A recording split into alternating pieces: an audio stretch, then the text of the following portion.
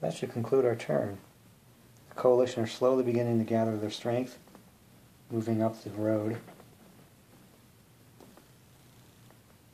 The Russians are beginning to deploy. Marshal Blucher is still a ways away. The uh, ground effects are definitely keeping him out of the fight.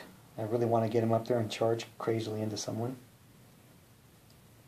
Leval division, now leaderless, is going to try to cut the road right there and move, I guess, against the Russians there.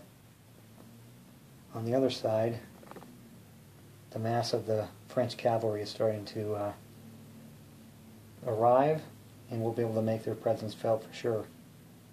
The difficulty is this poor ground is really slowing everyone down. Now at the key point here, the upcoming 11 a.m. turn is the turn. The Prussians have to hold the town and the French have to take the town in order for each side to try to achieve the level of victory that they're going after. So uh, we'll see how far they can get.